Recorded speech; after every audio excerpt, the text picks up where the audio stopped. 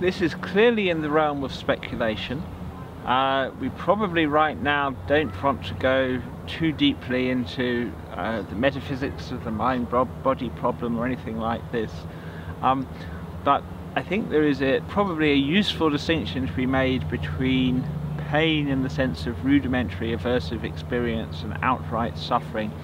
Uh, and though it is possible, quite possible I believe, that single-celled organisms are capable of very rudimentary aversive experience. It seems extremely implausible to say that single-celled organism suffers in the full sense uh, and therefore uh, we should probably be skeptical about the existence of full-blown suffering before the Cambrian explosion or whenever we date the, the origins of multicellular life. I mean, it may well be deep, deep, deep in our evolutionary past the actual origins of, aversive experience. But suffering, okay, it's, it's conventional, but it, it's not wholly arbitrary.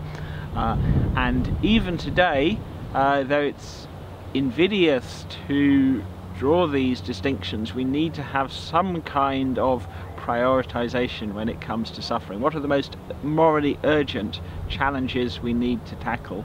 Uh, and though perhaps one can have a, a sketch of a, of a utopian uh, civilization in which there is literally no suffering, initially we need to focus on vertebrates, probably the higher vertebrates, uh, that a central nervous system is almost certainly a precondition for having a unitary subjective experience as distinct from individual uh, uh, nerve ganglia. So that's not a complete uh, uh, explanation, but that's a, a, sketch of an explanation. Um, whereas in the case of reward and pleasure, we have two ultimate hedonic hotspots. In the case of uh, pain, suffering and distress, it is much more anatomically diffuse. So uh, yes, I mean it's possible by means of electrode studies to explore particular role of different areas uh, of the brain. So um, yes, it's not a, mat a, matter of simply zapping a single pain center or something like that and then the rest of our lives enjoying gradients of bliss. Um, but yes, if you look at each of our core emotions, uh, disgust, uh, anger, fear, anxiety, panic, they do have their own identifiable uh, molecular anatomical substrates. They are extremely, in the case of our core emotions, uh, extremely strongly conserved uh, over time. Uh, and therefore it seems a very fair bet uh, that in both humans and, and, and, and vertebrates certainly that pain, fear, anxiety are phenomenologically extremely similar.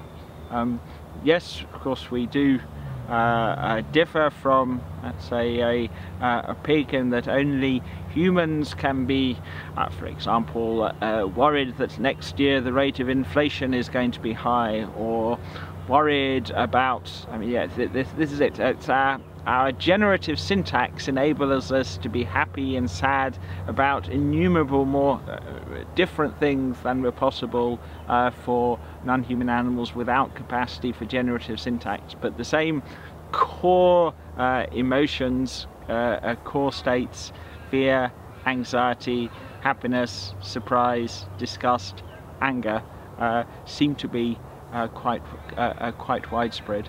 Um, evolutionary ancient, yes.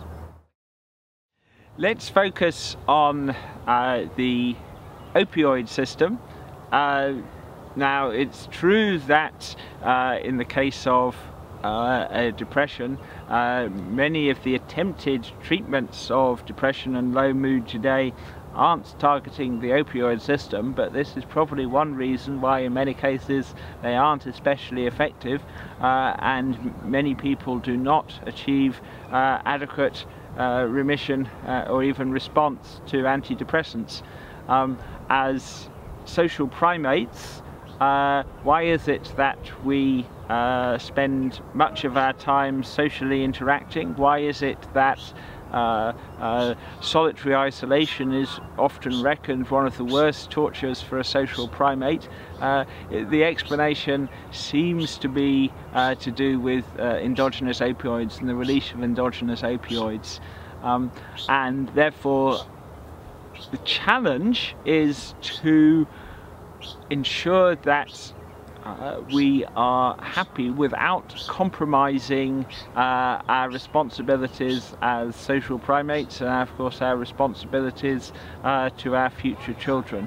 Um, a lot of these interventions one needs to think well what will be not just the effects on the individual but on society as a whole uh, and the nature of, of, of selection pressure.